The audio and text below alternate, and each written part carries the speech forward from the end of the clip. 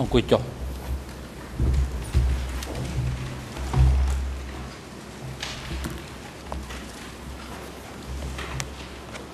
អង្គជំនុំជម្រះប្រកាសបន្តកិច្ចដំណើរការនីតិវិធីសម្ដែងការមុននឹងផ្ដល់វិធានការជូនទៅក្រមមេធាវីការពីក្តី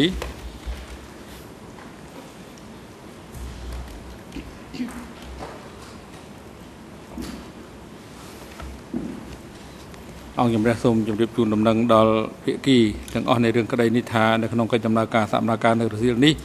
ដោយលោកចក្រមយុវតារាដែលជាចក្រមជាតិអវត្តមានដែលមូលហេតុគាត់មានទុរៈចាំបាច់ផ្ទាល់ខ្លួនគាត់មិនអាចចូលរួមក្នុងកិច្ចដំណើរការសម្ដែងការនេះបានបន្ទាប់ពីយើងខ្ញុំវិភាគ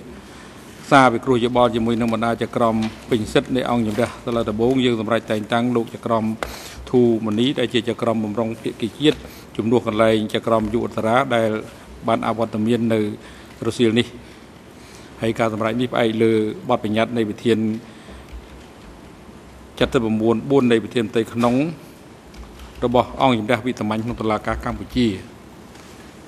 បច្ចុប្បន្នតនេះអង្គផ្ដល់វិធានការជូនទៅក្រមមេធាវីការពីក្តីដើម្បីបន្តការតាំងទម្រួតដេញដោលចំពោះសាក់សី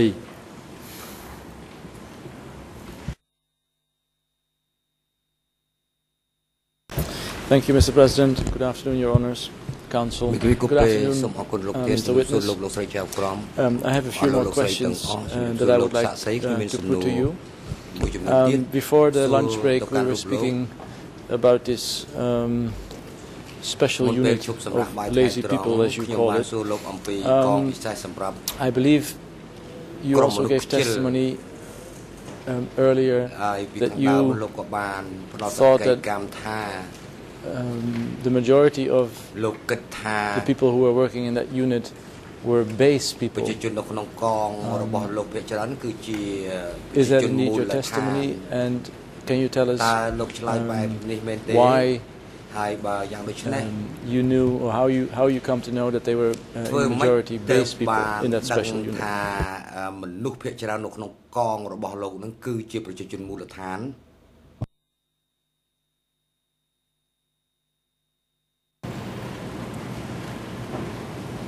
នេះតាមការសង្កេតរបស់ខ្ញុំ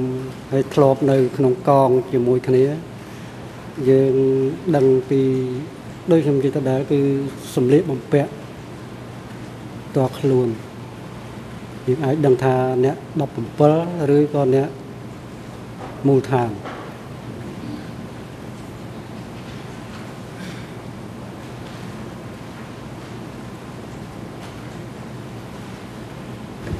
So it's on the Wait, basis we- of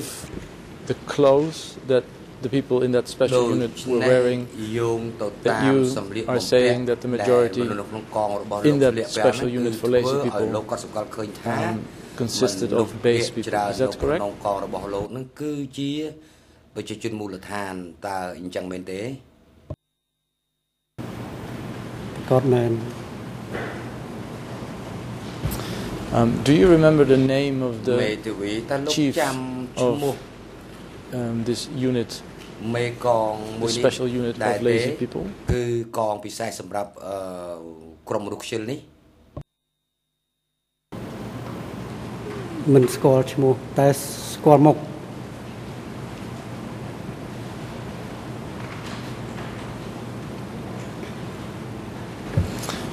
Do you remember or do you មេ know ធាវីតើលោក um, នៅចាំឬក៏លោកដឹង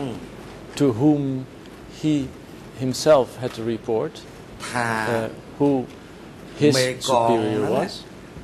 រាយការណ៍ទៅអ្នកណាតើអឺថ្នាក់លើផ្ទាល់របស់មេកនជាអ្នកណាលោកដឹងទេ ខ្ញុំបាទមិនដឹងទេរឿង Um, okay, thank you. Um, now let me get back to the question about the approximately 97% of the workers who uh, were apparently uh, not to be considered lazy. um, working at um, the. Um, we listened to the audio uh, recording of your interview and um, we heard that you say at one particular time that um, if your group ថា had finished the work or ប្រ not. សិន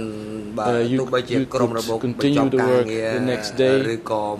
មិនបានបញ្ចប់ការងារក៏ដោយ uh, គឺ and លោក that you ត្រូវ were បន្ត not ធ្វើ forced, ការងារនៅ uh, and that you ថ្ងៃ only ប were ន្ត forced to work បន្ត hard, តទៅទៀតហើយ uh, ក្រុម and របស់ nothing លោក else. មិនត្រូវបានបង្ខំឲ្យធ្វើ Is ការ that something that you អ្វី said, ពិបាក you ទេ remember saying to the investigators? តើលោកនៅចាំថាលោកបាននិយាយត្រង់ចំណុចមួយនេះជាមួយនឹងអ្នកស៊ើបអង្កេតដែរឬទេ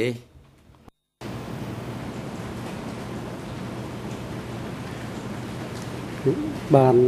ដូចជាចាំបាននៅពេលនោះខ្ញុំនិយាយអញ្ចឹងមែន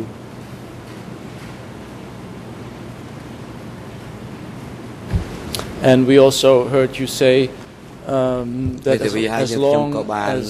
the workers in your ឮ group លោក was និយាយ not lazy, ថាដោយសារតែក្រុម were រ not របស់លោក lazy, មិន uh, then មែ there ន would not be ជា any problem អ្នក uh, ខ្ជិល for គឺ them and for you. អឺ Is that correct ដូ as ច្នេះ well? អ្នកនៅក្នុង So as ក្រុម long as របស់ you're លោក not ក៏ដូច lazy, ជា no problem. រូបលោកនោះគឺថាមិនមានបញ្ហាអ្វីទេ តើឯងចឹងមែនទេពិតមែន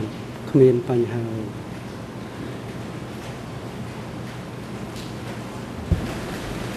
So is it then fair to conclude that 97% of the ដូ workers ច្នេះ uh, ខ្ញុំអាច at សន្និ the ដ្ឋាន dam បាន site ថា that you were working with in your ពល unit had ក no problem? 97%នៅក្នុងក្រុមរបស់លោកដែលធ្វើការនៅការដ្ឋានលើកទំនប់ហ្នឹងគឺថាអឺមិនមែនជាគេមិនចាត់ទុកជាអ្នកខ្ជិលទេហើយមិនមានបញ្ហាអ្វីទេមែនទេ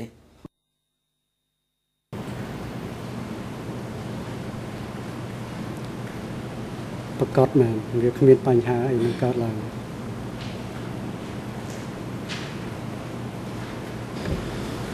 Um, now, one or two questions, Mr. មេ Witness, about ធាវីឥឡូវ um, ខ្ញុំច working ង់សួរ times. អំពីពេលម៉ោង There are ការងារ there is a witness, and ដោយសារតែ one or មាន two អ្នកខ្ជិល um, seem to have confirmed this that lunch ហើយមានសាក់សី the lunch អ្នក break បានបញ្ជា was ក់ថា between ពេលសម្រា either កបាយ 11 ថ្ងៃ and ត្រង់ 2 o'clock or អាចពីម៉ោង 11 and 1 1 o'clock. ទៅដល់ម៉ោង2ឬក៏ពីអឺពី Is ម៉ោង that- 11ទៅ A correct observation ដ of ល់ these ម៉ោង witnesses. អឺ2ឬក៏ពីម៉ោង1ទៅដល់ម៉ោង2តើចម្លើយរបស់សាក់សីដែលឆ្លើយបែបនេះត្រឹមត្រូវទេពីម៉ោងគឺសម្រាប់ពីម៉ោង11កន្លះទៅគឺយើងទៅទៅហូបបាយម៉ោង1កន្លះគេចាប់ផ្ដើមបន្ត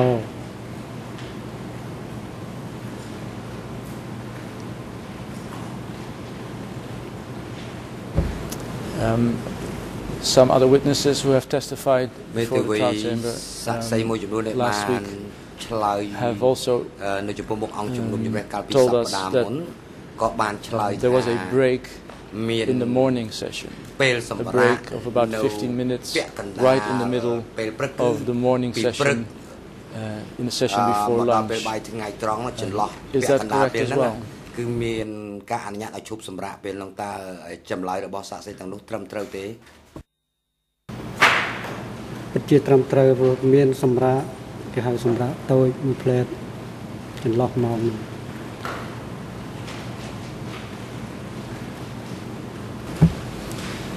Um, some witnesses have also given មេធាវី testimony សា about ក់សី working at ខ្លះ night. ក៏បាន Uh, one has ឆ្ said លើយ that ថា um, អឺ working at night បាន was ធ្វើការនៅពេល uh, យប់ occasional, ហើយការ Only ងារ sometimes. នៅពេលយប់នេះគឺ and ធ្វើ one តែ also នៅពេល said ខ្លះ um, ទេ that it was only ហើយសាក់សី it ខ្លះ was ឆ្ only លើយ working ថា at night when the moon was waxing. ការធ្វើ So, ការងារនៅពេលយប់នោះ um, តែ about នៅ once a month. ខែភ្លឺទេ Is that your ប្រហែល recollection ជា as well? ធ្វើអឺម្ដងម្ដងក្នុង Your ម្ដង recollection ក្នុងមួយ about ខែទេ um, the times អញ្ចឹងតាម working ការចងចាំ at របស់ night? តើលោកនៅចាំថាអឺមានធ្វើការងារនៅពេលយប់ដែរទេ ការងារនៅពេលយប់ប្រកាសជាមានប៉ុន្តែដូចខ្ញុំនិយាយចឹងពីមានករណីពិសេសអញ្ចឹងគេបើកភ្លើង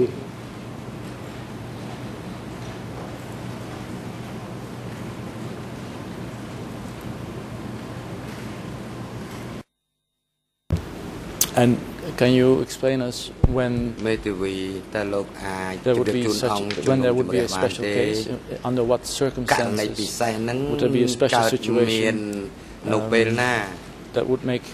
the workers work at night តើកលៈទេសៈបែបណា ដែលចាត់ទុកថាវាជា ករណីពិសេសនាំឲ្យពលករនឹងធ្វើការនៅពេលយប់ យើងយើងមិនអាចដឹងថា ករណីនឹងបែបណាទេ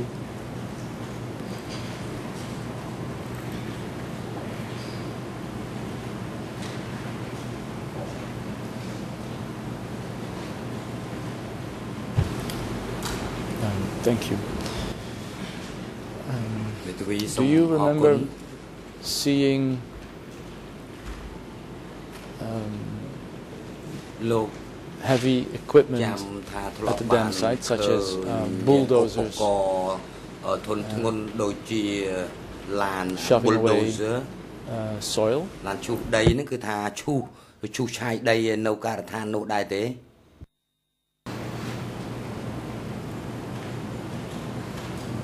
មិនមិនធ្លាប់ឃើញតែដាច់ចិត្ត9ខ្ញុំបានឃើញគ្រឿងចាក់នៅក្នុងព្រៃអឺ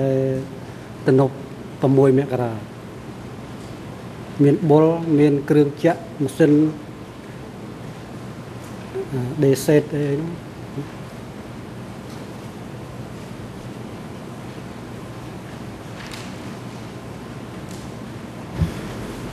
And were these, មេធាវី in your memory, the bulldozers តាម and heavy ការ equipment ចង that ចាំ had របស់ been លោក left តើ there by bulldozer និងឧបករណ៍ធនធ្ងន់ដ um, ទៃ the ទៀត authorities in the DK ដែល region? ដែលទុកចោលនៅទុកចោលនៅទីនោះអឺដោយអាជ្ញាធរកម្ពុជាប្រជាធិបតេយ្យឬក៏អត់ទេដោយអាជ្ញាធរកម្ពុជាប្រជាធិបតេយ្យទុកចោលរត់ចោលដាច់ចិត្ត9ហ្នឹងទៅគឺទុកចោល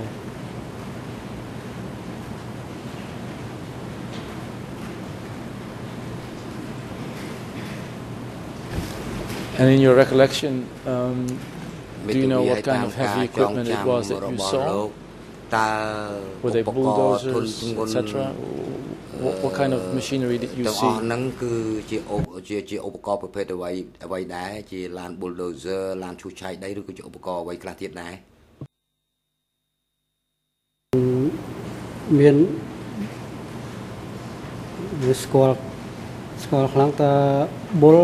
ហើយនឹង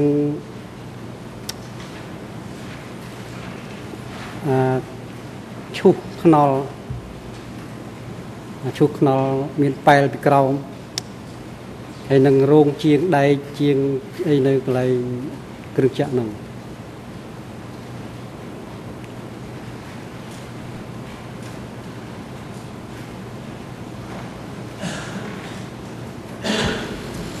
Um, during the time that you worked មេ at ធា the វី first January dam នៅពេលដែលលោក work ធ្វើ site, ការ um, នៅ did you ការ ever ដ្ឋានទំនប់មួយមករា see តើលោក soil collapse បានឃើញ and soil subsequently burying workers, or did you អឺ never បាក់ see that? ធ្លាប់ដែលបានឃើញអឺដីនឹងវាបាក់ក្របសង្កត់ទៅលើពលករដែរទេ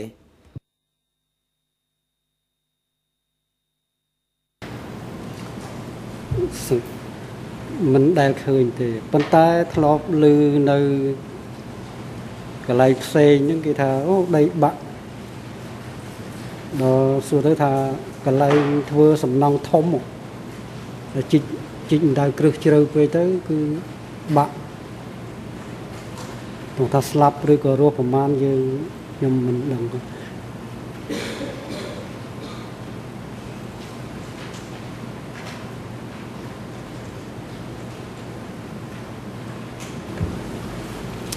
Um,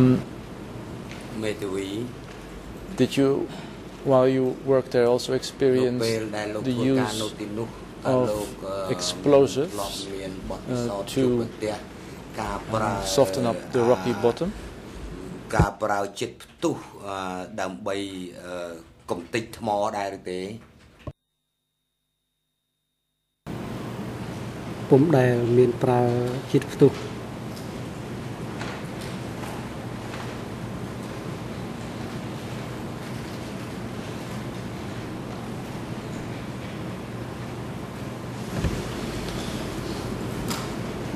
Um, returning again May to the, the we- food um, situation in ត្រឡប់មកនិយាយ Your អំ unit ពីស្ថាន that work ភាព at the ចំណី dam. អាហារ Do you know សម្រាប់កង who was របស់លោកដែលធ្វើការនៅ responsible កា for រដ្ឋាននោះវិញ bringing លោកដឹង the ថាអ្នក food ណាទទួលខុស at ត្រូវក្នុងការ uh, the dam site អាយកអឺ where you worked? ចំណីអាហារ Who was responsible for the food ចែកជូន logistics? អ្នកណាទទួលខុសត្រូវខាងផ្នែកអឺ ភ័ស្តុភារខាងផ្នែកដឹកជញ្ជូនចំណីអាហារយកមកឲ្យពលករនៅឯទំនប់នោះរឿងមហូបឬរឿងជីវភាពបបរអីគេហ្នឹងគឺយើងដើរមហូបនៅកនៅកន្លែងរោងវិញมันមានពីណាដឹកនាំយកទៅឲ្យដល់កន្លែងទេព្រោះរោងយើងនៅប្រហែល1គីឡូអត់អី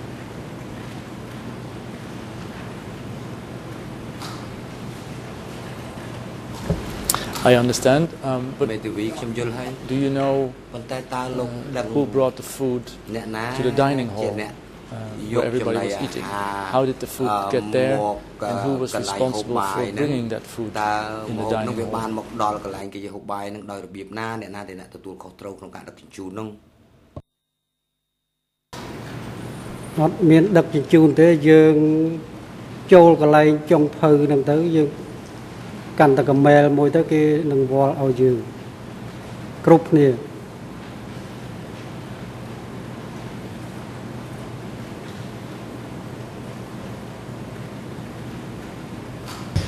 I apologize, maybe my question is not very clear. Um, មេ I, ធាវី I'm trying សុំ to ទោស find ប្រ out ហែលជា how សំ the ណួរ food ខ្ញុំវាមិនច្បាស់ that ខ្ញុំ you ate ចង់ស្វែងយល់ had gotten ថា there តើចំណីអាហារដែលលោក Who បានហូបហ្នឹងលោក had បាន brought ពី it ណា um, អ្នក to the ណា place ជាអ្នកយកចំណីអាហារ Where ហ្នឹង did the food យ come ក from? មកកន្លែងដែលលោកត្រូវហូបបាយហ្នឹងនិយាយចំថាតើបាយទឹកទាំងអស់ហ្នឹងគេយកមកពីណា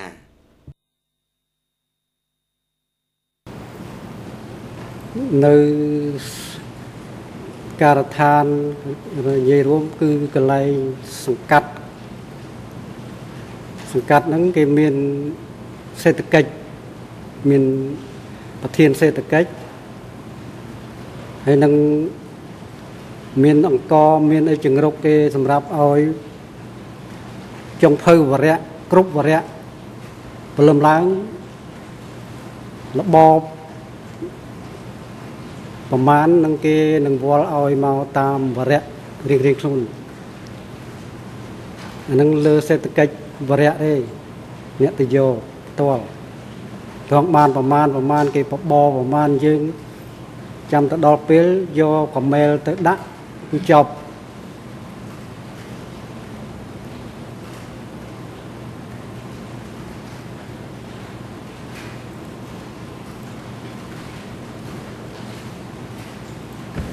um, this um, logistics មេ chief. ធាវី Was he coming from the sector ប្រធាន or was he coming from, សេដ្ឋកិច្ច from a នេះ district? មកពីថ្នាក់ស្រុកឬក៏មកពីថ្នាក់តំបន់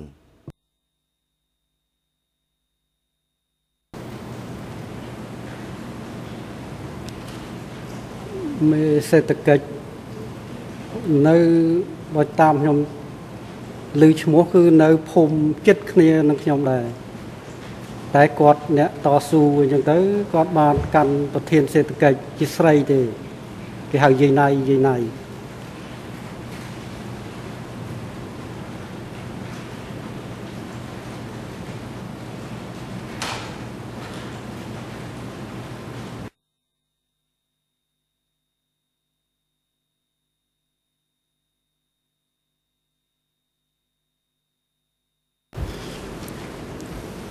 So this this female មេ cadre ធា was វីដូច្ responsible នេះ for អឺកម្មាភិបាលនារី five or 600ម្នាក់ people ហ្នឹងគឺទទួល that ខុ were ស working ត្រូវទៅលើ together. មនុស្ស5 Is that correct? 600នាក់ដែលធ្វើការទាំងអស់គ្នានៅទំនប់ហ្នឹងតើត្រឹមត្រូវដែរឬក៏អត់ទេគាត់ក្តាប់សេដ្ឋកិច្ចរួមមកសង្កាត់ហ្នឹងមានវរៈបុរសវរៈនារីវរៈយុវជន 3វរៈហ្នឹងខ្ញុំមិនដឹងថាស្ថិតិប្រមាណទេប៉ុន្តែបើវរៈយុវជនវរៈទី2ខាងដែលខ្ញុំនៅ គឺពី5ទៅ600នាក់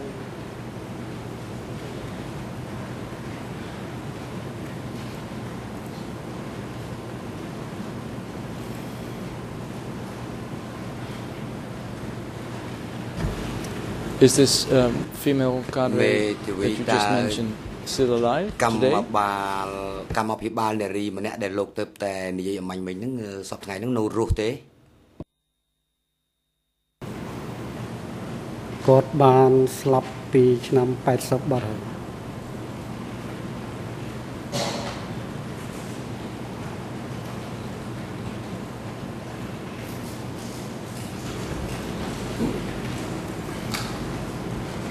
Um, this morning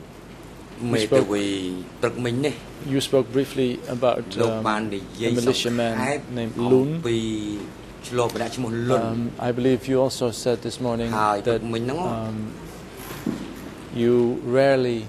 លោកក៏ saw បាន him និ at យាយ Dam. ថាលោកកំរនឹងឃើញឈ្មោះលុននឹងនេះនៅឯអឺការដ្ឋានលើកទំនប់ណា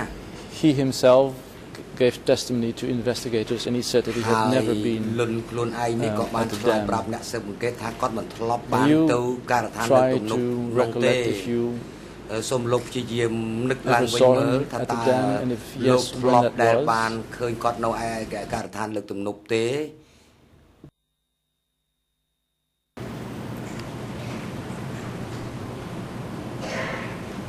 ដោយខ្ញុំនិយាយពីថ្ងៃព្រឹកថាគាត់ ច្រើននៅធ្វើការនឹងតាមភូមិទាំងប្រមាណហ្នឹងច្រើនត្រង់ថាទៅការដ្ឋានមួយមករាហ្នឹងដូចជាមិនមិនគាត់មិនសូវឃើញឃើញមកដាក់ម្ដងហ្នឹងដូចជាដូចជាគាត់មានកាយផងយើងអត់ដឹង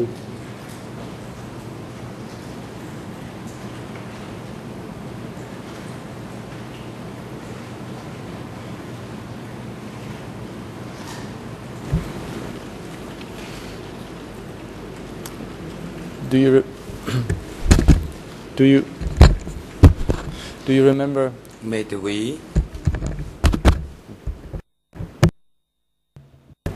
Yes. Uh, do you remember where you saw him um, under what under which circumstances? Um, ឃើញនៅក្នុង did he just pass by ពេល or- ណា can you give us a little more detail តើគាត់គ្រាន់តែដើរកាត់ទីនោះឬក៏យ៉ាងណាសូមលោកបញ្យល់ឲ្យបានលម្អិតបន្តិចបានទេលោកសក្តិមកអត់ទាន់ឆ្លើយតបសូមអញ្ជើញថាប្រញ្ញារងអន្តរជាតិ Thank you, Mr. President. Uh, តំណាងសហប្រញ្ញារងអន្តរជាតិ I just want to correct what I think is an inaccurate characterization of the statement that Lun gave. There is a point in his statement at which he says that he was never sent to guard the first January dam. But he also says that he saw Kai Pok come to inspect the first January dam and that he was tasked with carrying earth at that construction site for three months. So the statement is not that he was never there. The statement is that he was there for three months. Um, yes, I think he, he, seems to limit it to guard. Um, but the point was where was, was, ចំណុច was គឺនៅ more ត្រង់ថា uh, Mr. President ហាក់បី to ដូច ask ជា the គេ witness ចាត់តាំង uh, ឲ្យគាត់ when យាម he នឹងមាន when he says រយៈពេល rarely កំ what ណ that ត់ means ប៉ុន្តែនៅ Uh, ពេល so សាក់សី I- និ I យាយថា retract កំរ and, ឃើញហ្នឹង um, គឺតើ ask ចង់មានន័យថាម៉េចហើយដូ the ច្នេះ witness ឯង some more- ទើប would like to ask ជា the ខ្ញុំ witness ជ some more ជែក details សួរ about the word rarely. ឲ្យសាក់សីឆ្លើយបន្តិចមើលពាក្យ So it was ថា once, កំរឃើញហ្នឹង um, ចង់មានន័យ that you ថា saw ម៉េច him. ធ្លាប់ឃើញគាត់តែ what ម្ else ដ do ង you ឬ remember of this one occasion តើនៅក្នុងរយៈពេលតែម្ដងហ្នឹងលោកចាំអ្វីខ្លះអំពីអឺឈ្មោះនេះ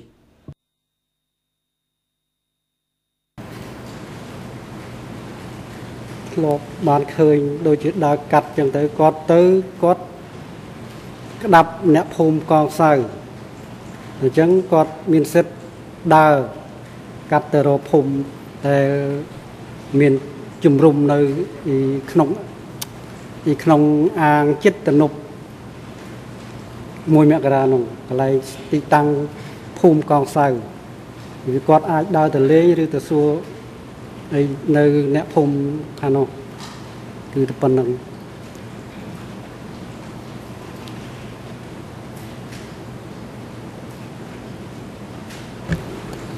Um, thank you, um, Mr. Witness. Moving on to a មេ next ធាវីសូម subject. អរគុណ Um, លោក this សាស្ morning ត្រី you said ឥឡូវខ្ញុំចូល that ទៅ you ប្រធានបទ overheard ថ្មីព្រឹកមិញនេះ um, លោកបានឆ្លើយថាលោកបានស្ដាប់ឮ people s- say something about um, two, អ่า wor- ប្រជា two or ជន three workers និយាយគ្នាថា um, being ពល taken ករ away ពី and 3នាក់ត្រូវ uh, បាន thrown គេ in a, យក we- in ចេ a ញ well ទៅ and, បាត់ and, ទៅ and killed. អ่าសម្រាប់ចោលហើយទម្លាក់ចូលក្នុងអណ្ដូង Do you know the names តើ of the លោក people that you ចាំ overheard? ឈ្មោះអឺមនុស្សដែលបាននិយាយអំពីរឿងរឿងសម្លាប់នេះដែរទេ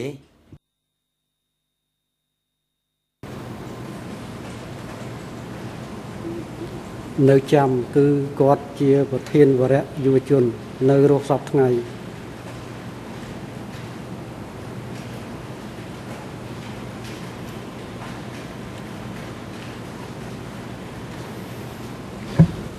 Do, do you know how they មេ knew ធាវី about the fate លោក of ដឹងទេ these ថាអ្នកនិ uh, យាយរឿង workers? សម្លាប់ហ្នឹង Had they seen it ទោះមិន themselves បាន or ជាពួក had គាត់ they នឹង in ដឹង their- អំពីជោគវាសនា in របស់ their មនុស្ស turn 3នាក់នេះតើពួកគាត់ subsequently បាន heard it as ឃើញ well, hear it as ដោយ well, ផ្ទាល់ or ភ្ do នែ you, ក do you know the បានឮ source ដោយ of ផ្ទាល់ភ្នែក um, ឬក៏យ៉ាងណាតើលោកដឹង their apparent knowledge អឺ of the fate of these people? តើលោកដឹងថាអ្នកដែលនិយាយនេះគាត់ដឹងប្រភពនៃការសម្លាប់នេះមកពីណាដែរទេខ្ញុំមិនដឹងទេគាត់តែបានលឺ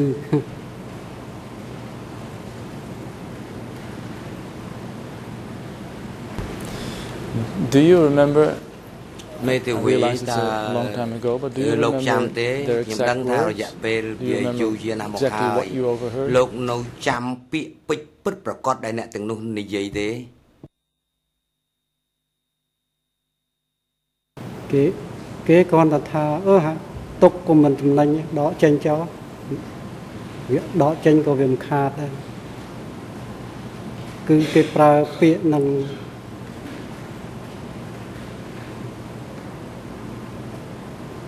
ថាថា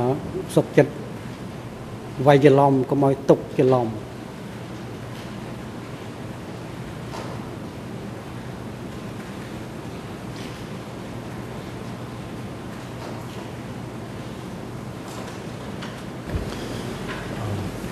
I understand, but that sounds very general. មេធាវីខ្ញុំយល់ហើយប៉ុន្តែលោកនិយាយអញ្ចឹង Did you hear them ហាក់ say ដូចជា anything ទូទៅ specific ពេក ប៉ុន្តែតើ about លោក these ស្ two ដា or ប់ three ឮគេ workers? និយាយជាក់លាក់អីទេចំពោះពាក្យ Details ពេច as ន៍ពីរ to បីម៉ាត់ហ្នឹងណា Which well, ដូច what ជាថា time, ទម្លាក់នៅអណ្ដូង thrown នៅក in ន្លែ by ង whom, ណាទម្លាក់នៅពេលណា why, អ្នកណាជាអ្នកទម្លាក់ any specific អា detail. ឃើញសពទាំង3នៅទៅក្នុងអណ្ដូងគឺចំណុចលម្អិតបែបនេះលោកនៅចាំទេ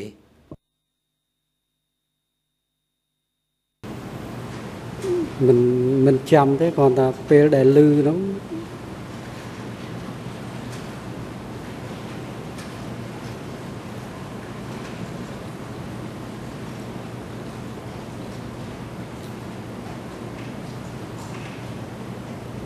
សំសំសួរម្ដងទៀត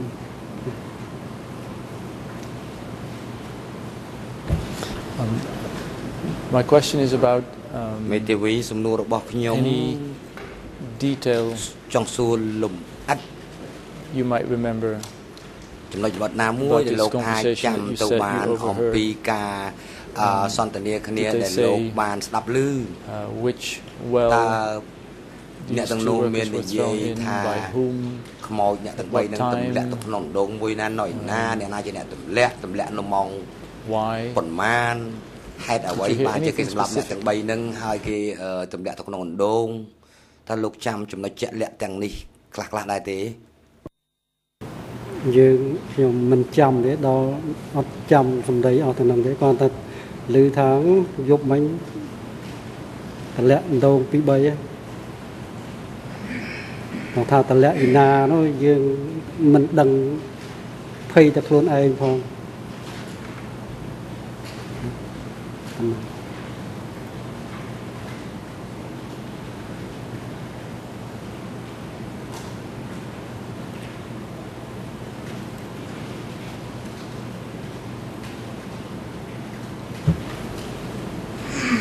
um, I'll move on to my last questions um, មេធាវីខ្ញុំ Mr. បន្ត Witness. ទៅសួរសំណួរចុងក្រោយ Um, របស់ខ្ញុំ You spoke briefly this morning លោក about សា the ក់សី visit of ព្រឹ a កមិញ Chinese លោកនិ delegation. យាយសង្ខេបអំពីដំណើរទស្សន Do you កិច្ច know របស់ប្រ anything តិភូ more ចិន Specific? Do you know any names of Uh, Chinese Lo- leaders that មាន came ចាំឈ្មោះគណៈប្រតិភូចិន visiting the first January ដែល dam? ទៅអឺធ្វើទស្សនកិច្ចនៅទំនប់មួយមករានោះដែរទេ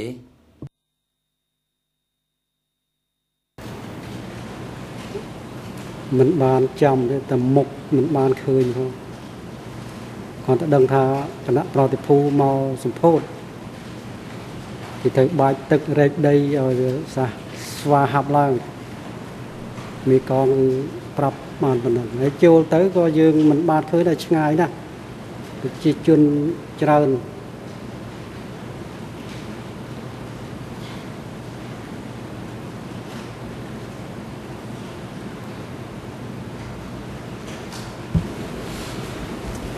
Um, you were instructed to work harder មេធា um, វី when តា the delegation uh, was មាន visiting. គេប្រាប់ឲ្យលោកប្រឹង Were you ធ្វើ also ការ instructed ឲ្យស្វាហាប់ to- បន្តិចដែរទេនៅពេលប្រតិភូចិនទៅពិនិត្យមើលការដ្ឋាននោះ Put more soil តើ in the baskets លោកមានបាន and to run កាប់ដីដាក់ឲ្យ with the soil ពេញ rather ពេញ than to ប walk. ង្គីអឺហើយរែករត់ដែរឬក៏អត់ទេអឺខុសពីថ្ងៃធម្មតានឹងដែរឬទេ ដើម្បីទទួលប្រតិភូហ្នឹងគឺស្វាហាប់មែនអ្នកខ្លះញាប់ដៃញាប់ជើងមើលទៅវាខុសពីថ្ងៃធម្មតា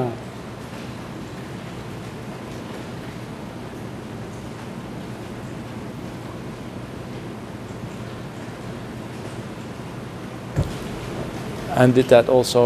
include សំណួរ putting some extra soil in the baskets that, តាពាក្យថា um, ស្វា that ហាប់ you នេះ were តើ carrying? រួមទាំងការដាក់ជីកអឺរួមទាំងការកាប់ដីដាក់ពេញពេញបង្គីអឺផងដែរទេ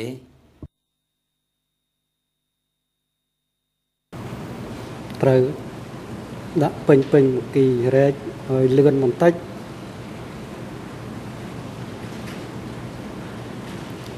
គឺមានអាថាស្មារតីភ្ញាក់រលឹកខ្លួនឯង បើមេក្រុមមេកងឲ្យយើងដាក់តែមកប្រាវអញ្ចឹងទៅ ដើម្បីបង្ហាញគឺយើងត្រូវតែអនុវត្តតាម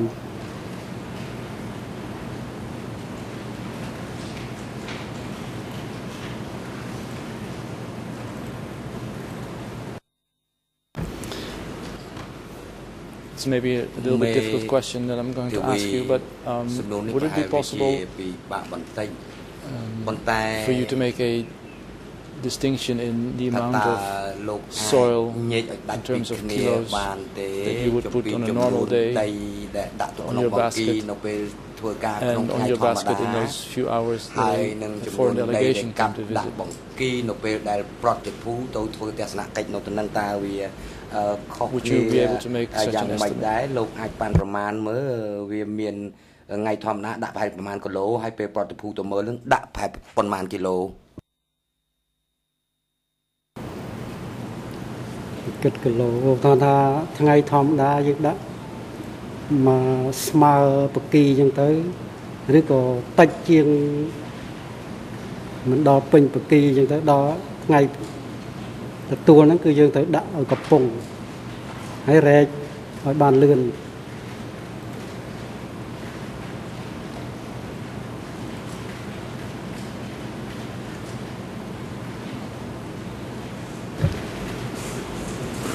It's a long time ago, I understand, but are you មេ able ធាវី to ខ្ញុំដឹងថារយៈពេលនោះ Estimate ពេលពេលពេលនោះមកវា how យូ many រ kilos វិជាហ soil ើយប៉ុន្តែតើលោក you would អាចស្មាន typically carry? ស្មានមើលថាលោកអឺរែកអឺប្រហែលជាដីក្នុងនំគីនឹងប្រហែលជាប៉ុន្មានគីឡូក្រាមដែរក្នុងមួយរែកហ្នឹង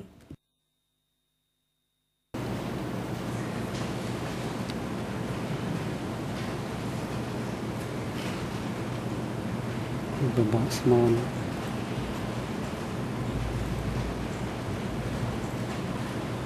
I understand. I understand. Um, my last question, um, Mr. Witness, do you know why the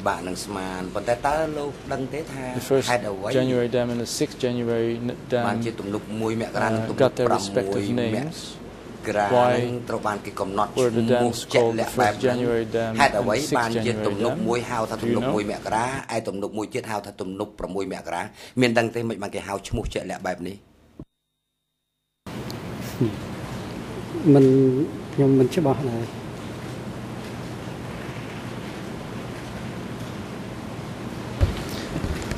Thank you very much, uh, Mr. សូម Witness. អរគុណ លោក I'm looking at my national សា colleague. ស្រីខ្ញុំអឺ Uh, we're done. Thank you, Mr. អឺ President. ខ្ញុំអស់សំណួរហើយលោកប្រធានសូមអរគុណច្រើនបាទអរគុណជាបន្តទៅនេះផ្ដល់វិធីការជូនទៅក្រុមវិទ្យាការពីក្តីលោកខៀវសំផន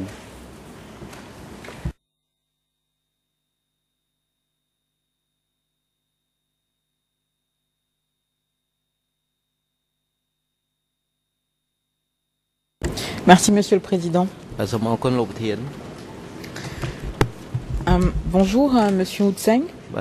Je m'appelle Antagissé, je suis co-avocat international de Monsieur Kusantan et je vais vous poser quelques brèves questions pour avoir certaines précisions sur votre déposition. J'ai cru comprendre de votre déposition au moment de l'inauguration du barrage du 1er janvier, vous aviez déjà commencé à travailler sur ce barrage. Est-ce que j'ai bien compris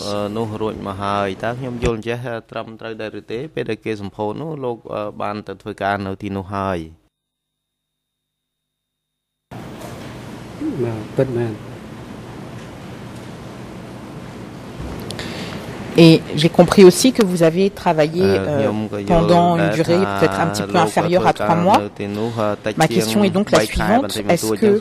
après avoir fini de travailler sur euh,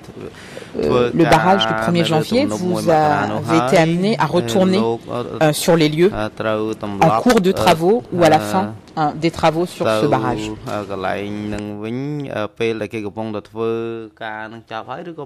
អឺកន្លែងនឹងវិញអឺពេលដែលគេកំពុងតែធ្វើការនឹងចប់ហើយឬក៏ពេលអឺអឺមិនទាន់ចប់ទេគឺពេលកំពុងធ្វើការឬក៏ពេលជិតចប់ហើយបានទៅវិញ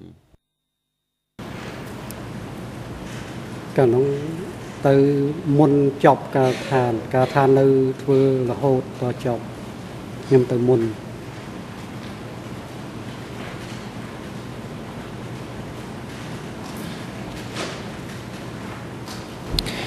J'avais bien compris ce point. En fait, ma ខ្ញុំ question, យ c'est de ល់ savoir ហើ si យក៏ប៉ុន្តែសំណួរ après ខ្ញុំ avoir នោះ fini ខ្ញុំ de ចង់ travailler ថា sur បន្ ce ទាប់ពី barrage, ធ្វើការ vous êtes នៅ revenu ទំនប់ sur មួយ ce មករានោះ barrage ហើយលោក pour une ក៏បាន raison ou ត្រ pour ឡប់ une ទៅ autre, ទំនប់មួយមករា notamment par នោះវិញ exemple ខ្ញុំមិនដឹងថាហេតុ euh, អីបានទៅ s'il y a eu une ទេ cérémonie à la fin, à l'issue des travaux sur ce ពិ barrage. ធីមួយនៅពេលដែលគេធ្វើអឺគេទំនប់នោះចប់នោះគេរៀបចំពិធីមួយអញ្ចឹងខ្ញុំសួរលោកថាលោកមានបានទៅអឺពេលហ្នឹងវិញទេ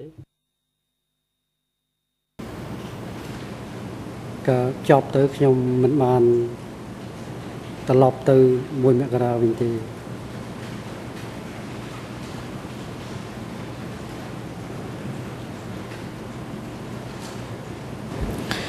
Vous avez euh, indiqué que euh, បាទ ce លោក barrage បានឆ្ était លើយ euh, ថាទំនប់ assez grand, នោះ qu'il ធ euh, ំណាស់ដែរ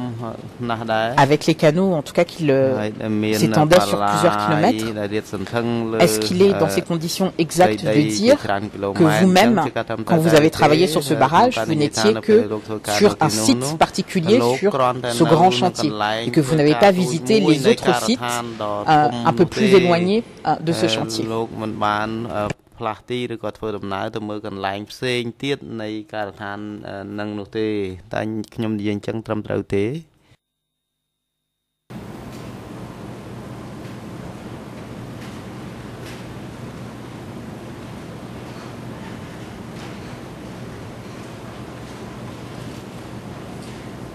Je vais peut-être poser ma question différemment parce qu'apparemment je n'ai pas de réponse de votre part. Donc ma question est de savoir si nous sommes bien d'accord que lorsque vous avez travaillé sur ce chantier du site du barrage du 1er janvier, vous n'avez travaillé que sur une partie de ce chantier, que vous n'avez pas visité toutes les parties sur les plusieurs dizaines de kilomètres que composait ce barrage. ងហើយណែអឺរាប់សិបគីឡូម៉ែត្រអឺនៃទំនប់នោះទេ លោកធ្វើការនៅតែកន្លែងលោកតែប៉ុណ្ណោះអឺតើលោកយល់ស្របនឹងខ្ញុំទេ ពិតពិតមែនខ្ញុំយល់ស្របព្រោះ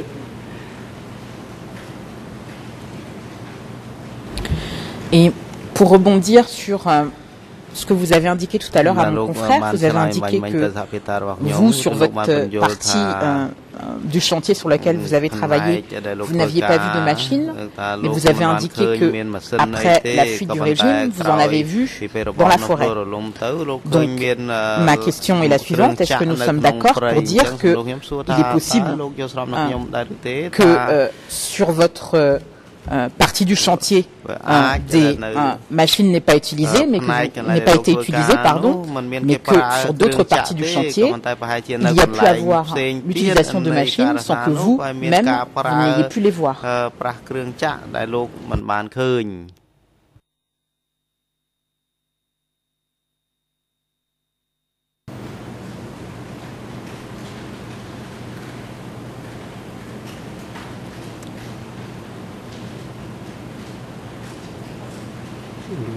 យើង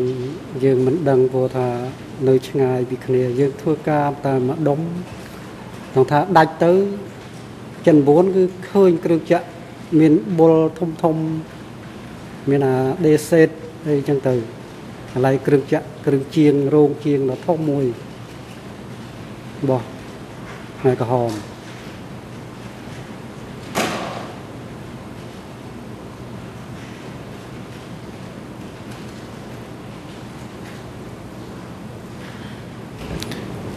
C'est précisément là où je veux en venir, monsieur le témoin, c'est que dans votre déclaration E3 barre 5267, ERN en français 00482 ERN en khmer 0027 1407 ERN en anglais 0028 23 54. Voilà ce qui a été noté dans votre déclaration. Ce barrage-là a été construit en terre uniquement et à la force humaine. Fin de citation. Euh, de ce que vous avez indiqué sur les machines que vous avez vues, euh, sur aussi la remarque faite par Monsieur le juge Lavergne sur le fait que au moins le mur du barrage avait été fait euh, en ciment et avec des barres de fer. On est d'accord que lorsque vous dites ce barrage-là a été construit en terre uniquement et à la force humaine, vous vous parlez de la partie sur laquelle vous avez travaillé.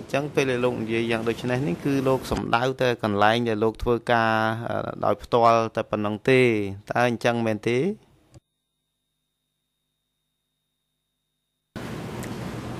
ពិតជាអញ្ចឹងមែនប៉ុន្តែគ្រាន់តែយើងនៅធ្វើការអញ្ចឹងទៅយើងឮថាអូអ៊ីនោះគេធ្វើសំណង់ធំប៉ុន្តែយើងពុំមានសិទ្ធដើរហើរទៅមើលទៅអីអត់មានទេប៉ុណ្ណឹង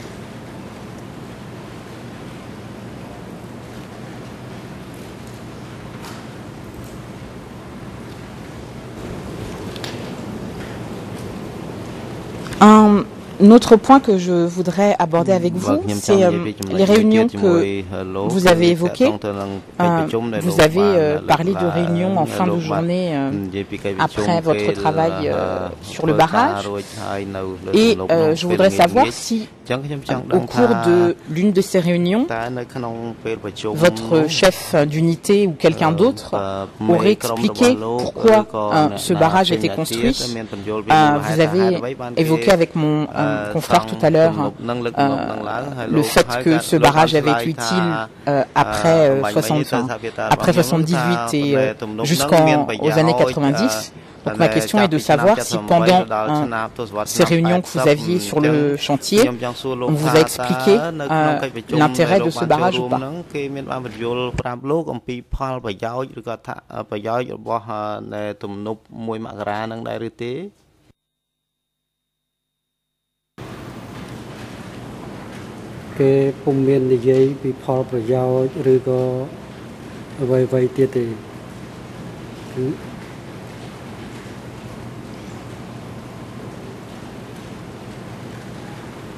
ប្រយោជន៍ឬក៏អ្វីៗទៀតទេគឺបើនិយាយគឺនិយាយទាំងថា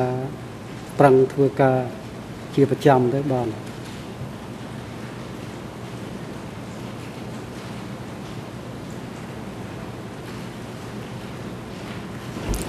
Et vous qui avez assisté à l'inauguration de ce barrage Est-ce que euh, vous avez indiqué pardon, que même si vous étiez loin, vous avez entendu euh, certains discours et certaines présentations euh, par haut-parleur Est-ce que ce jour-là, on a expliqué l'intérêt de ce barrage ou est-ce que vous ne vous en souvenez pas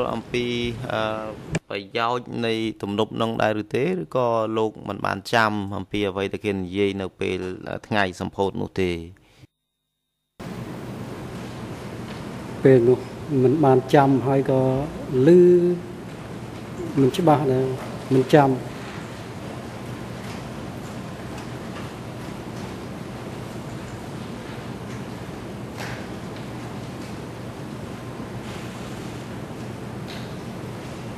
Il n'y a pas de souci, si vous ne vous en souvenez pas, je, bah, je ne vais pas vous embêter plus avant. Euh, je voudrais revenir sur euh, votre déclaration devant les coachs d'instruction et sur un point que vous avez euh,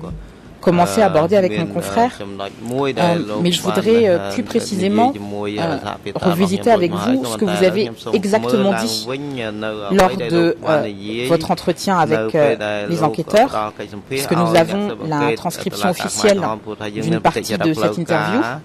Et je voudrais vous soumettre certains points en vous relisant vos, déclarations et vous poser ensuite des questions. Il s'agit du document D Point 8, ERN en français 01 1 0 1 6 5 6 ERN en khmer. 01101597 et euh, il n'y a pas euh, de transcription en anglais mais euh, il s'agit donc de la transcription du document audio D166 bar 82R et les passages qui m'intéressent se trouvent entre 1h33 et 25 secondes et 1h35 et 30 secondes. Vous avez abordé ce point encore une fois avec euh, mon confrère, mais je voudrais vous soumettre exactement ce que vous avez euh, indiqué ce jour-là. Voilà la question qui vous est posée à propos de l'organisation euh, du travail au sein de votre groupe. La question de l'enquêteur MO est la suivante. Mais une fois répartis en sous-groupes, Comment était attribué le quota de travail de chacun de leurs membres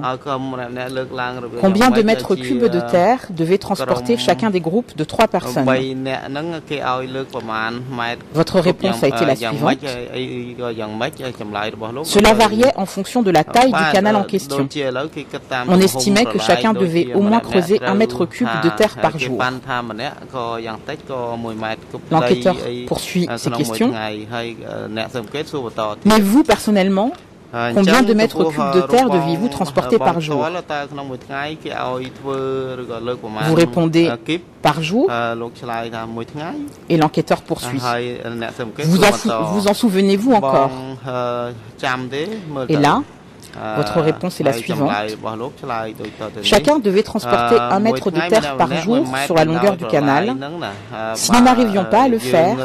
nous n'avions qu'à continuer à travailler normalement. Or, il n'était pas utile de faire preuve d'hypocrisie au travail, puisqu'on ne nous faisait rien de mal. Comme nous ne pouvions pas finir le quota imposé,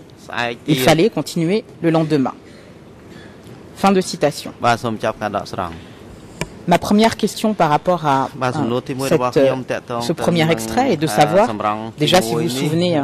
bien avoir dit ça, et si vous confirmez que euh, lorsque vous ne pouviez pas finir le quota, il fallait continuer le lendemain.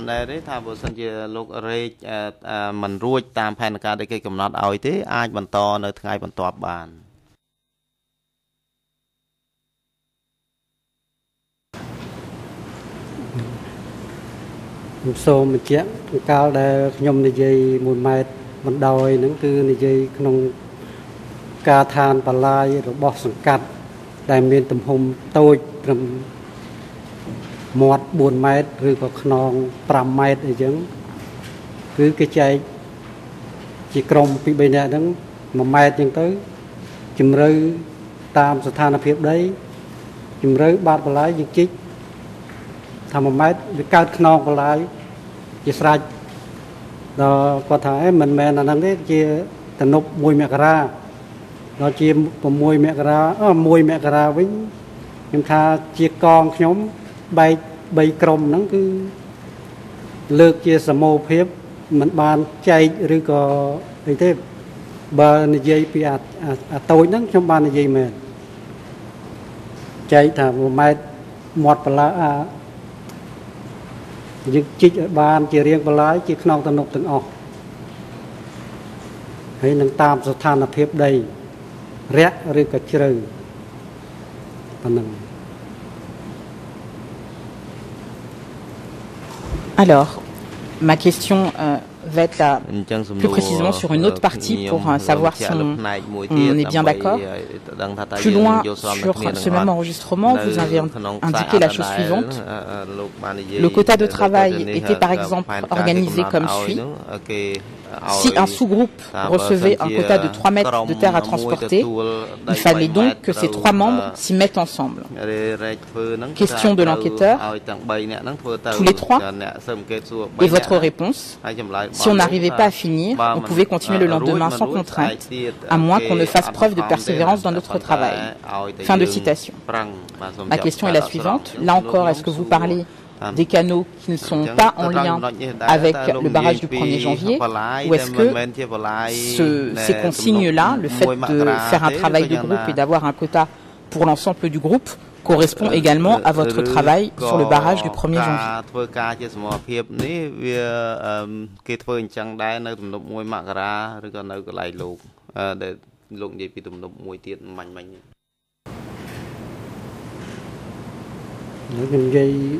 ពីទំនប់1មករាកងក្នុងកងរបស់ខ្ញុំហ្នឹងគឺគេចែកជាក្រុម3ក្រុមទៀតធ្វើការជាសមូហភាពទោះបីដូចថារួចមិនរួច គឺយើងប្រឹងធ្វើសកម្មភាព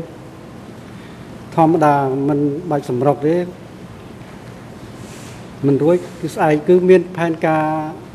បន្តឲ្យតែយើងប្រឹង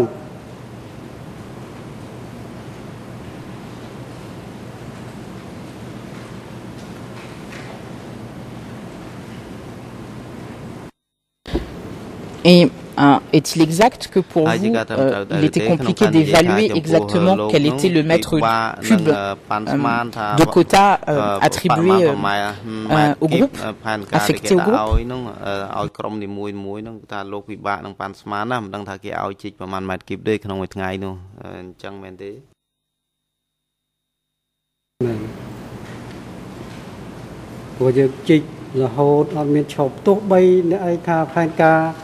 រហែលម៉ែត្រគីបទេក្នុងមួយថ្ងៃនោះអញ្ចឹងមែនទេព្រោះយើងជីករហូតអត់មានឈប់ទោះបីអ្នកឯងថាផែនការរួចក៏មិនបានទៅរោងឬក៏បានឈប់សម្រាកទេយើងធ្វើការតាម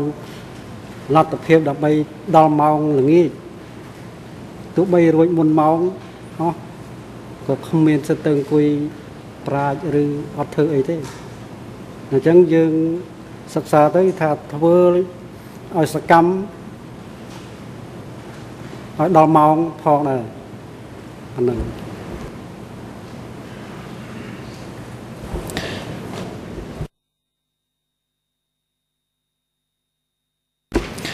J'ai bien compris cette partie de votre déposition, euh, monsieur le témoin, mais ma question elle est différente.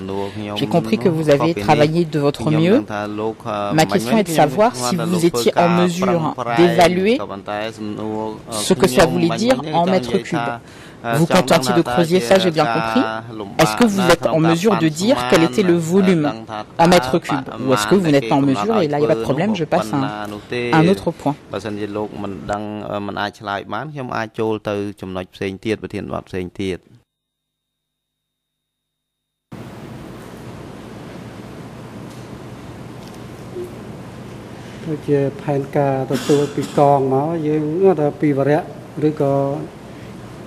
ពីកងមកយើងទៅពីវរៈឬក៏ពីវរៈអញ្ចឹងយើងចាក់គេឲ្យប្រមាណប្រមាណម៉ែត្រអញ្ចឹងទៅយើងចែកគ្នាទៅមកកងហ្នឹងវាបានប្រមាណម៉ែត្រយើងកន់ជា3ក្រុមមកយើងធ្វើមិនដឹងជាថាគិតគិបគិតផុកអីគេកាលនោះយើងដឹងតែពីប្រឹងកាប់ធ្វើធ្វើម៉េចឲ្យថា2ថ្ងៃឲ្យរួចយើងឲ្យរួច2ថ្ងៃមកតែប៉ុណ្្នឹង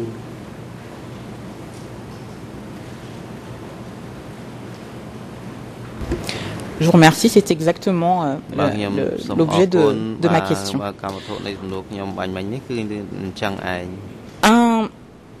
dernier point que je voudrais aborder avec vous, vous avez évoqué un certain loan, avec euh, Monsieur le coprocureur et tout à l'heure avec mon confrère. J'ai cru comprendre de votre déposition que vous avez indiqué que ce loan serait mort il y a 3 ou 4 ans. C'est ce que j'ai noté dans mes notes. Est-ce que vous confirmez ce point ou est-ce qu'on a mal compris votre déposition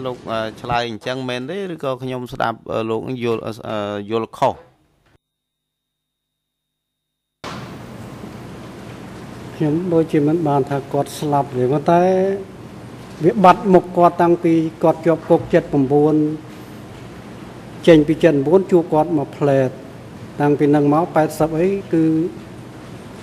គាត់អត់ហ៊ាននៅភូមិព្រោះនៅក្បែរគ្នាអញ្ចឹងបាត់គាត់រហូតតឥឡូវក៏គ្មានតំណែងតំណងព្រោះគាត់កិច្ចតែមុខត្រង់ថាស្លាប់ហើយនៅខ្ញុំដូចជាមិនទាន់បាននិយាយទេ 그리고 그냥 빨리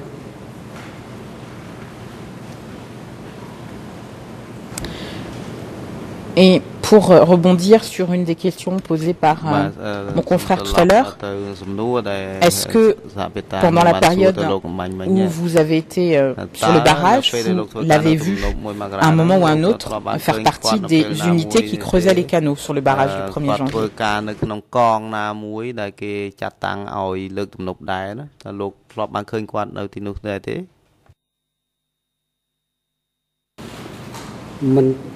បើឃើញឃើញគាត់ដើរមួយផ្លែតត្រង់ថាមានកងមានអីគឺមិនដែលដឹង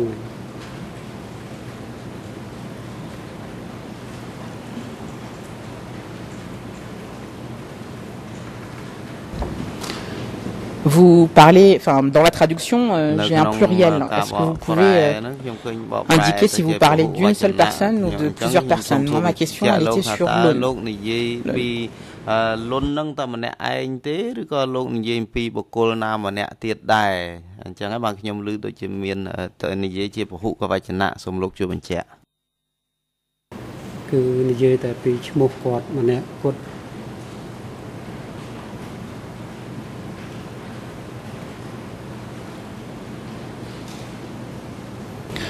Et est-ce que vous savez si des, les miliciens euh, de votre commune ont, à un moment ou un autre, été affectés euh, aux travaux sur euh, les canaux du barrage du 1er janvier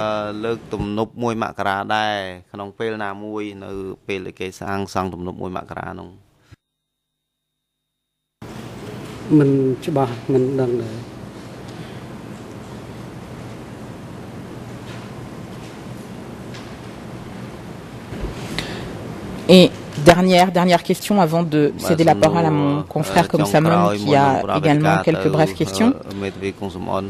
Le jour où vous avez vu euh, l'aune sur le barrage du 1er janvier, vous ne l'avez pas vu en train de creuser la terre. មួយមករាហ្នឹងគឺលោកមិនបានឃើញគាត់អឺកំពុងតែជីកដីទេកាប់ដីទេតើអញ្ចឹងមែនទេ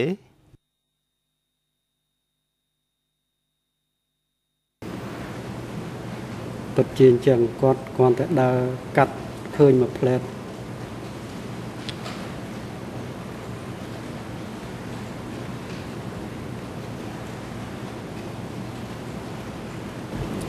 Monsieur le Président, je n'ai pas d'autres questions et je cède la parole à លោកប្រធានខ្ញុំអស់សំណួរហើយលោកសូមអនុញ្ញាតផ្ដល់វេទិកាជូនលោកមេធាវីគង់សំអនលោកប្រធានអរគុណសូមអញ្ជើញលោកមេធាវីគង់សំអន បាទសូមអរគុណលោកប្រធានសូមគោរពអង្គជំនុំជម្រះភាគីសូមជម្រាបសួរលោកអ៊ុតសេងខ្ញុំមានសំណួរមួយចំនួនសម្រាប់សួរបញ្ជាក់បន្ថែមទៀតតាក់តងទៅនឹងស្រុកកំណើតរបស់លោកលោកបានជម្រាបជូនអង្គជំនុំជម្រះកន្លងទៅថាលោកមករៀននៅភ្នំពេញហើយក្រោយរំដោះ17មេសា1975លោកវិលទៅស្រុកកំណើតរបស់លោកវិញ ហើយស្រុកកំណើតរបស់លោកនោះគឺនៅ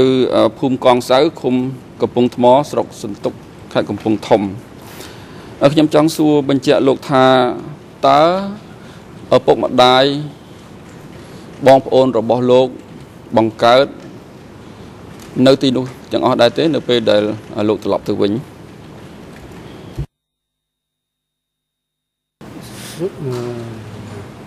សម័យសង្គ្រាម70 គ្រួសារ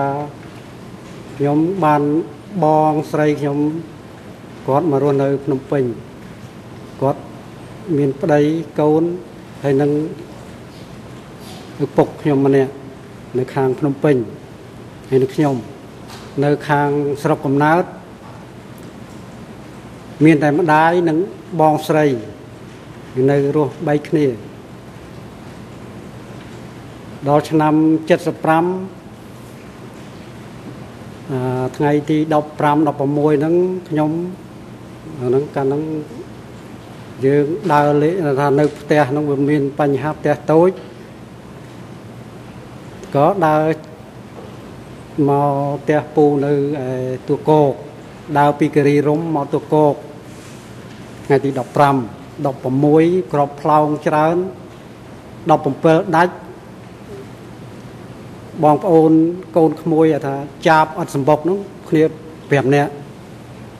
នាំគ្នាវិចអង្គវិចឆ្នាំងពួកគេឲ្យចេញមកពី3ថ្ងៃយើងទៅដាក់អង្គហើយក៏ចេញមកតាមផ្លូវជាតិលេខ5រហូតទៅដល់មួយខែគត់ទៅដល់កំពង់ថ្មតែបងខ្ញុំគាត់នឹងទៅណាទេអត់ខ្ញុំអត់ដឹង បាទអញ្ចឹងខ្ញុំចង់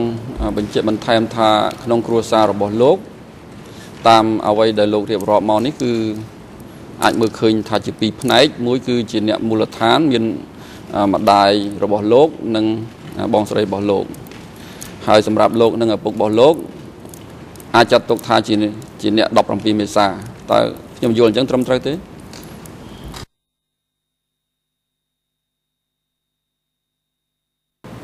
បាទ ត្រឹមត្រូវហើយ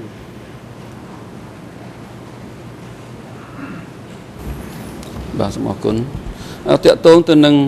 របបអាហារខ្ញុំចង់សួរបញ្ជាក់លោកថានៅក្នុងក្រមធ្វើការងារកងការងាររបស់លោកតើអ្នក17មេសានិងអ្នកមូលដ្ឋានហូប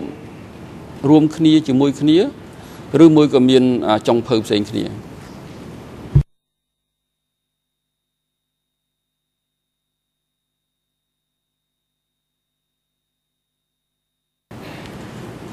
នៅវរៈយុវជនហៅថាវរៈទី2យុវជនដែលមានគ្នាជាងប្រមាណ100នាក់ហ្នឹងគឺមានរបបមានចុងភៅតែមួយកន្លែងគត់ដូចថា ចុងភៅធំ សម្រាប់គ្នាទាំងអស់គ្នានឹងហូបមិនហូបរួមទេតែយើងគេចែកជារបបហូបពីណាហូបទៅប៉ុណ្ណឹង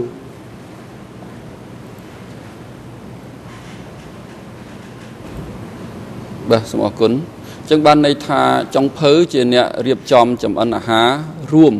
ហើយបានគេដួសចែកឲ្យពលករម្នាក់ម្នាក់ដោយឡែកពីគ្នា តើអញ្ចឹងត្រឹមត្រូវទេ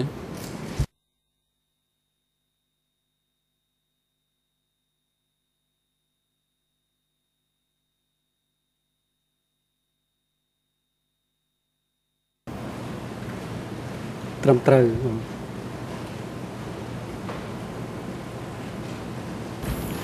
បាទសូមអរគុណខ្ញុំចង់បញ្ជាក់បន្ថែមតាក់ទងរឿងអាហារនេះដែរ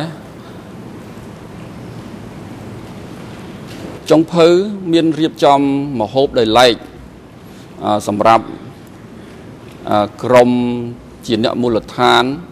និងក្រមជាអ្នក17មេសានឹងទេ ឬមួយក៏ការដួសចេញពីឆ្នាំងតែមួយដូចគ្នា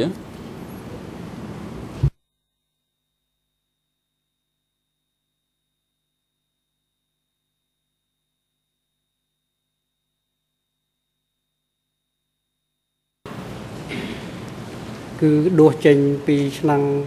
តែមួយគ្រាន់តែគេមូលដ្ឋានឬក៏ជាប្រធានកងប្រធានវរៈអញ្ចឹងទៅអាមេសេដ្ឋកិច្ចដែលអ្នកដួសហ្នឹងគឺគេគ្នាគេគេអាចតម្លើងថាលបងមកវេឲ្យពីរវេអញ្ចឹងទៅបើអ្នកមូលដ្ឋានថាមកវេនោះតែអ្នក17មកវេគឺមកវេហើយប៉ុណ្្នឹងហើយ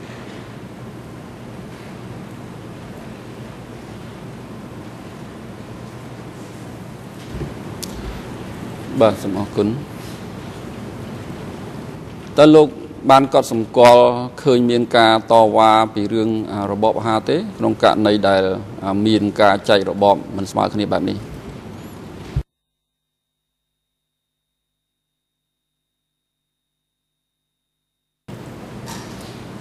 ពុំមានជនណាមួយហ៊ានតវ៉ារឿងរបបនេះទេ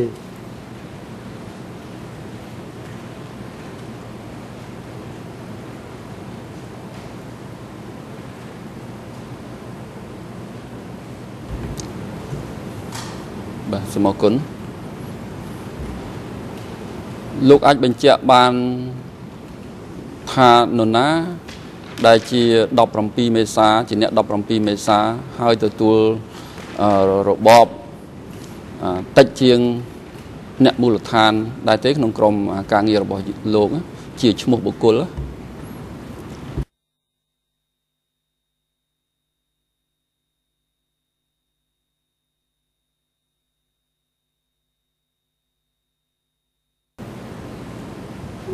រឿងខ្ញុំ មិនច្បាស់ចាំទេគាត់ថា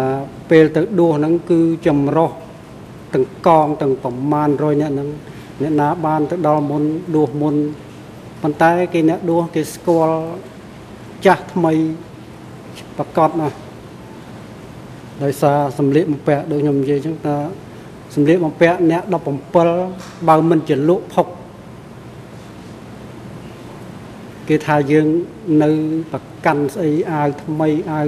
កាឡាស្អីចឹងទៅវាមានបញ្ហាដល់ជីវិត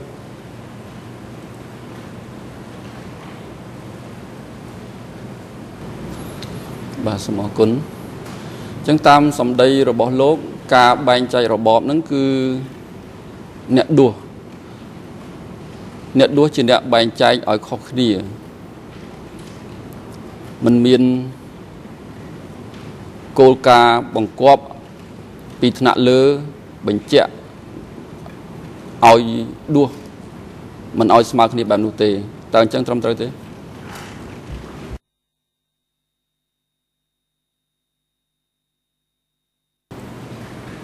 វាគ្មានគោលការណ៍ពីលើទេគាត់ថាគ្នាអ្នកសេដ្ឋកិច្ចនឹងឯងហើយនឹងប្រធានវរៈនោះជាអ្នកបញ្ជាអញ្ចឹង បាទសូមអរគុណលោកបញ្ជាក់អំពីវិរៈរបស់លោកស្ថិតក្នុងវិរៈ2តើលោកអាចចាំបានទេថាវិរៈរបស់លោកនឹងជាវិរៈរបស់ស្រុក របស់តំបន់ឬក៏ភូមិភាគ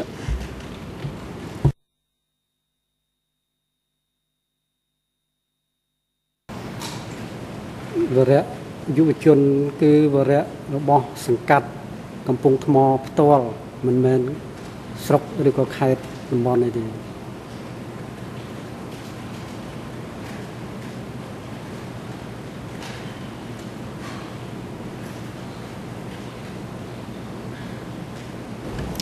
បាទសូមអរគុណតកតងទៅនឹងវត្តបារាយជាន់ដែកខ្ញុំបានឮលោកហៅថាវត្តបារាយសណ្ដែក តើឈ្មោះនេះខុសគ្នាយ៉ាងម៉េចលោកឯងបញ្ជាក់បានទេ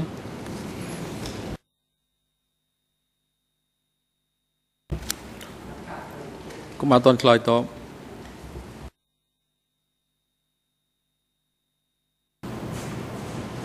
ភាសាហៅបើហៅបើតសេគឺបារាយជាន់ដែកបណ្ដល់យើង ខ្មែរយើងហៅបារាយសណ្ដែកបារាយសណ្ដែកជាទូទៅវារត់មាត់ដូចហៅតសក់ ឧទាហរណ៍ត្រសក់យើងមិនអាចហៅត្រសក់ទេហៅអត់ត្រសក់ប៉ុណ្ណឹងបាទសូមអរគុណតកតងទៅនឹងសក្ខីកម្មរបស់លោកលេខ E3 លើ57 67សូមបញ្ជាក់ម្ដងទៀត E3 លើ52 67 ERN ជាភាសាខ្មែរ00 27 14 12ជាភាសាអង់គ្លេស00 28 23 58ជាភាសាបារាំង00 48 29 36ខ្ញុំសូម ដកស្រង់នៅពេលដែលសំណួរសួរតាក់ទងទៅនឹងមេធំធំធ្លាប់មកមើលការដ្ឋានដែរឬអត់ហើយចម្លើយរបស់លោកលោកបានឆ្លើយថាសូមដកស្រង់ពេលមួយនោះ គឺមានមេភូមិភាគឈ្មោះកែពកមកសម្ពោធការដ្ឋានទំនប់1មករា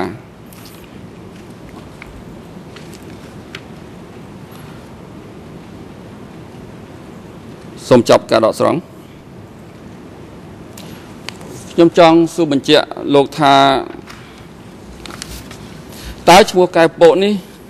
ជាប្រធានភូមិភាគជាអ្នកមកសម្ពោធឬក៏អ្នកផ្សេង លោកអាចបញ្ជាក់ពីគោលជំហរឬការចងចាំរបស់លោកតាក់ទងទៅនឹងពេលសម្ពោធនោះបានទេ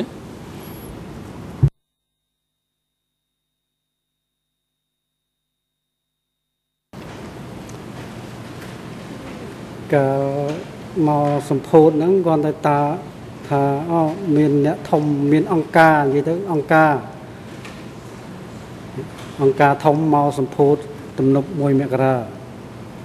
ហើយមានចិនមានអីចឹងតែដែលលើឈ្មោះហ្នឹងគឺពកពកហ្នឹងលើឈ្មោះតាំងពីហ្នឹងដែរត្រង់ថាអ្នកណាផ្សេងទៀតអត់ ស្គាល់មុខអាហ្នឹងហើយ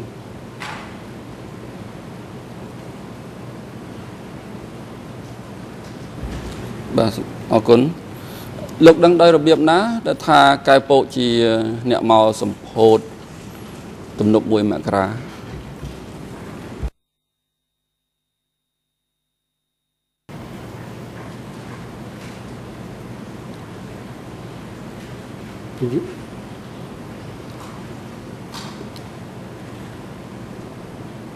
ព្រោះ តាពកគាត់នៅនៅប្រចាំការថាមានប៉ុស្តិ៍គាត់ថាមានផ្ទះគាត់នៅនឹងតនប់1មករាគាត់អាសាចិញ្ចូលចិញ្ចូលនៅតនប់1មករាហើយដល់អញ្ចឹងឮឈ្មោះគាត់ច្រើនប៉ុណ្ណឹងក្នុងថារូបភាពមុខមាត់អត់ដែលស្គាល់ បាទសូមអរគុណ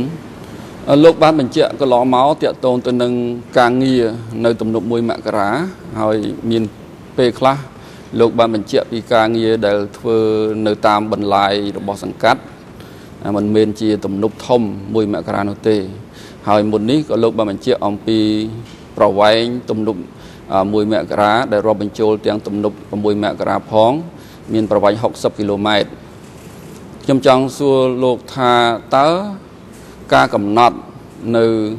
ប្រវែងទំនប់1មករា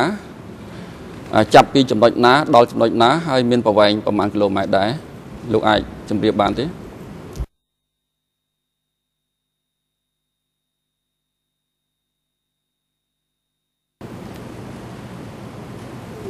ខ្ញុំអាចជម្រាបបានតែអានេះវាជាថា ដល់ឆ្នាំ90ហើយទេបានយើងដឹងថាទំនប់1មករាមានប្រវែងប្រមាណដែលយើងលាតផែនទីមើលទៅហើយនឹងវាស់វែងវាវាទប់ស្ទឹង2ទាំង1មករានិងស្ទឹង6មករាហើយប្រវែងវាបូកទាំងពីរហ្នឹងទៅវា60គីឡូម៉ែត្រជាងអានោះយើងដឹងក្រោយរឿងឆ្នាំ ពី90អីហ្នឹងហើយមិនដឹងនៅពេលកំពុងអនុវត្តផែនការគឺយើងមិនដឹងថាគេជីកដំណើរបែរមុខទៅណានោះអត់ដឹងទេបាទសូមអរគុណលោកអាចបញ្ជាក់តែចំពោះទំនប់1មករាបានទេប្រវែងហើយនឹងចំណុចចាប់ផ្ដើមប្រវែងប្រហែលគីឡូម៉ែត្រហើយចំណុចចាប់ផ្ដើមហើយនឹងបញ្ចប់វិញធំណា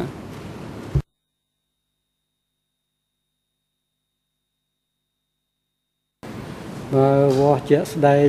ថ្ងៃពីសំណង់ធំសំណង់10ទ្វារទៅស្ទឹង6មករាមានប្រវែង7គីឡូម៉ែត្រពីសំណង់ធំឆ្ពោះទៅស្រុកបារាយវាមាន32គីឡូម៉ែត្រទៅដល់ព្រំដែនខេត្តកំពង់ចាមបាទសូមអរគុណ ចុះចំណុចដែលលោកធ្វើការនៅសម័យកម្ពុជាប្រជាធិបតេយ្យលោកធ្វើការត្រង់ចំណុចណាលោកអាចចាំបានទេក្នុងពេលឥឡូវនេះ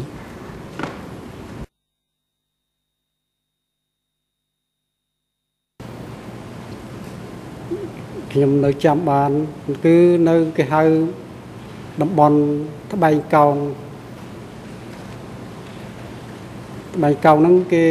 មានសំណង់មួយគេហៅថាសំណង់ទឹកវិលគឺចាប់ពីសំណង់ទឹកវិលទៅគឺកងឬក៏វរៈទី2ទទួលឧទាហរណ៍ថាទទួលប្រមាណម៉ែត្រចឹងទៅ គឺចែកគ្នាធ្វើនឹងនៅក្បែរទឹកវិលហ្នឹងត្បែងកោង បាទសូមអរគុណខ្ញុំសូមសួរសំណួរចុងក្រោយមួយតាក់ទងទៅនឹងឈ្មោះលុនដែលលោកបានរៀបរាប់កន្លងមកនេះលោកបញ្ជាក់អំពីឈ្មោះលុនជាឆ្លូបនឹងមានការងារពាក់ព័ន្ធទៅនឹងការចាប់ខ្លួនមនុស្សមួយចំនួនហើយក៏លោកបានរៀបរាប់អំពី ឈ្មោះលុនត្រូវតឡាការចាប់ជាប់ពន្ធនាគារខ្ញុំចង់ឲ្យលោកបញ្ជាក់ថាលោកដឹងថាឈ្មោះលុននេះត្រូវជាប់ពន្ធនាគារពីពេលណាដល់ពេលណាទេ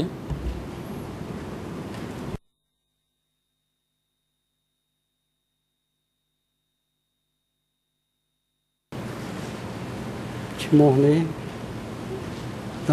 ឈ្មោះលុននេះគេចាប់នោះខ្ញុំមិនចាំទេគាត់ថាជួបសម្ដីអ្នកកុកកំពង់ធំហ្នឹងថានោះលុននោះគឺគេចាប់ដាក់គុកហើយអាជាប់ខ្ញុំក៏ថាដែរថាបើជាប់គុករស់ហើយគាត់ទៅខ្ញុំគ្មានគំនុំគុំគួនអីទេគាត់ថាអាជាប់គុករស់ហើយប៉ុណ្ណឹងប៉ុន្តែបើចេញទៅវិញខ្ញុំមិនចាំប្រហែលជា8 6ឬក៏85គាត់បានមកចេញហើយគាត់បានមកលេងភ្លេងការឲ្យភូមិខ្ញុំបានម្ដងទៀតដល់ក្រោយឡើងគាត់បែបភ័យព្រោះទៅឃើញសិទ្ធិអ្នកថ្មីថាពួក17នៅក្បែរនឹងច្រើនគាត់សឹងតែមិនហ៊ានកោតត្រសឹងតែរត់ឡប់មកវិញហើយតាំងពីនោះមកក៏បាត់គាត់រហូត បាទសូមអរគុណលោកចាំបានទេថាឈ្មោះលូនបានបាត់ចេញពីភូមិទីកន្លែងរបស់លោកហ្នឹងនៅពេលណាឆ្នាំណាដែរទេចុងក្រោយមុនមុនមុនពេលដែលជាប់ពន្ធនាគារ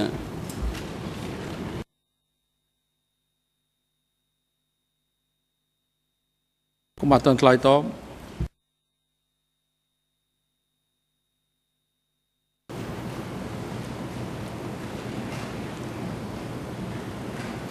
នៅចុងឆ្នាំ78ថាមានការលឺសូពីនេះពីនោះកងទ័ពហើយហើយចាប់ពីថ្ងៃលឺសូនឹងខ្លាំងឡើងខ្លាំងឡើង គឺសកាត់ក៏ដោយសេដ្ឋកិច្ចសង្កាត់ក៏ដោយអ្នកធ្វើការនៅ សង្កាត់ហ្នឹងគឺរត់អស់ហើយកងកម្លាំង កងវរៈអីហ្នឹងគឺរត់បែកគ្នាទៅផ្ទះរៀងខ្លួនពុំមានអ្នកណានៅនឹងកន្លែងនោះទេបាទសូមអរគុណលោកអ៊ុតសេងលោកប្រធានខ្ញុំអស់សំណួរសូមអរគុណបាទអរគុណបាទហើយសកម្មភាពនៅថ្ងៃនេះដល់ពេលឈប់សម្រាកហើយសកម្មភាពនៅថ្ងៃនេះបានចប់មុនពេលកំណត់ សាក់សីបំរុងពី TCW 887ដោយគាត់មានបញ្ហាសុខភាពគាត់ធ្វើដំណើរមកពីទីឆ្ងាយមកកាន់អវតកនៅថ្ងៃនេះ ដែលជាហេតុមិនអាចឲ្យអង្គជំរះធ្វើសកម្មភាពផ្ដើមស្ដាប់សក្ខីកម្មរបស់គាត់នៅរុស្ស៊ីនេះបានអង្គជំរះប្រកាសផ្អាកកិច្ចដំណើរការសកម្មភាពសម្រាប់ថ្ងៃនេះត្រឹមនេះសកម្មភាពលើកបន្តធ្វើនៅថ្ងៃស្អែកថ្ងៃប្រហ័សទី4ខែមិថុនាឆ្នាំ2015ចាប់ផ្ដើមពីម៉ោង9ព្រឹកទៅសកម្មភាពនៅថ្ងៃស្អែក អង្គជំរះនឹងធ្វើសកម្មភាពស្ដាប់សក្ខីកម្មស័ក្តិសិទ្ធិដែលមានថាសនាមពី TCW 887សូមភាគីជ្រាបនឹងអញ្ជើញចូលរួមបានតាមពេលវេលាកំណត់នេះហើយអង្គជំរះសូមអរគុណលោកអ៊ុតសេងដែលបានចំណាយពេលវេលាដ៏មានតម្លៃមកផ្ដល់តក្កកម្មនៅចំពោះមុខអង្គជំរះក្នុងឋានៈជាស័ក្តិសិទ្ធិក្នុងរយៈពេលមួយថ្ងៃកន្លះកន្លងមកនេះសក្ខីកម្មរបស់លោកនឹងអាចរួមវិភាគកទៀនក្នុងការស្វែងរកការពិតនៅលើក្តីនេះការផ្ដល់តក្កកម្មរបស់លោក បានដល់ទីបញ្ចប់ហើយវត្តមានរបស់លោកនៅអបតកលែងមានភាពចាំបាច់ទៀតហើយលោកឲ្យវិលត្រឡប់ទៅកាន់លំនៅឋានឬក៏គោលដៅណាដែលលោកមានបំណងចង់ទៅបានហើយសូមលោកមានជួបតែសំណាងល្អបានសេចក្តីសុខសេចក្តីចម្រើនហើយនឹងធ្វើដំណើរត្រឡប់ទៅវិញប្រកបដោយសុវត្ថិភាពមន្ត្រីរដ្ឋបាលតុលាការសម្របជាមួយនឹងបុគ្គលិកនៃអង្គភាពគាំពៀស័ក្តិសិទ្ធិនិងអ្នកជំនាញក្នុងការជូនលោកអ៊ុតសេងវិលត្រឡប់ទៅកាន់លំនៅឋានឬក៏គោលដៅណាដែលគាត់ចង់ទៅបានហើយ ប្រកបឲ្យអនុរិយមន្ត្រីឃុំឃាំងនាំខ្លួនជនជាប់ចោតទាំងពីររូបលោកនួនជានិងលោកខៀវសំផនត្រឡប់ទៅកាន់មន្ទីរឃុំឃាំងនៃអវតកបញ្ចុះនិងប្រកបឲ្យនាំខ្លួនគាត់ទាំងពីររូបត្រឡប់មកចូលរួមសកម្មភាពនៅថ្ងៃស្អែកឲ្យបានមុនម៉ោង9ព្រឹកសម្រាប់ចុះសូមអញ្ជើញក្រោកឈរ